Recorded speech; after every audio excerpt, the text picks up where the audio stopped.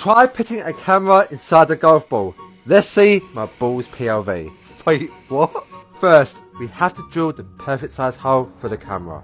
And use the Callaway Max golf balls, which are slightly bigger than a normal golf ball. Then I had to link the nanny cam to the iPhone and we're off. Can I beat my dad who is playing normal?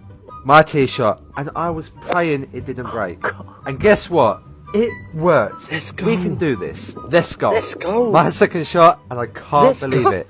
This camera is a beast. The footage is going to be jokes.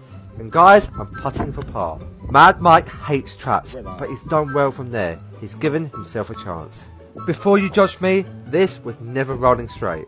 Now Dad has this for the win, and that's a nasty lip out, but that's a tap in for the bogey.